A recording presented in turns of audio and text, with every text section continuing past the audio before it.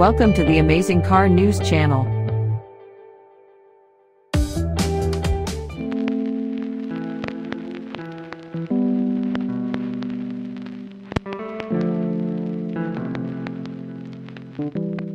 When the second generation Volkswagen Amarok goes on sale early next year, it will have a dramatic new style, fresh names, a growth spurt, and Ford engine power.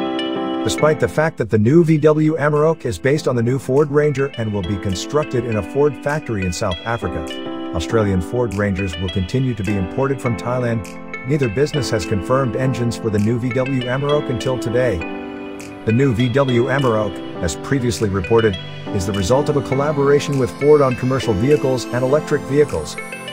Both the new Volkswagen Amarok and the new Ford Ranger share the same chassis, suspension, drivetrains, and gearboxes, as well as key body interior, electrical architecture, and digital functionalities. According to Lars Krause, Volkswagen Commercial Vehicle Board member responsible for marketing, both the new VW Amarok and the new Ford Ranger are built on a box section ladder frame steel structure first envisaged by Ford, but updated with help from Volkswagen.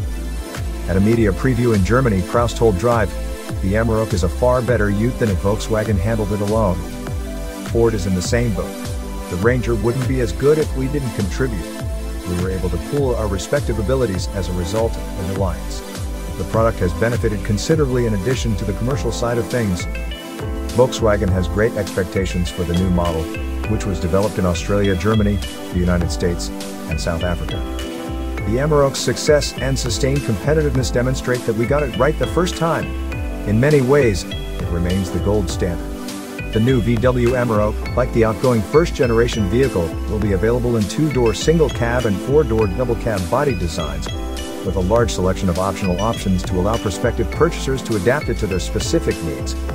The final design aesthetic, which Drive saw in a VW design lab but isn't shown in these photos, gives the new Amarok a more confident appearance than previously. The second generation VW Amarok was developed by a 10-strong team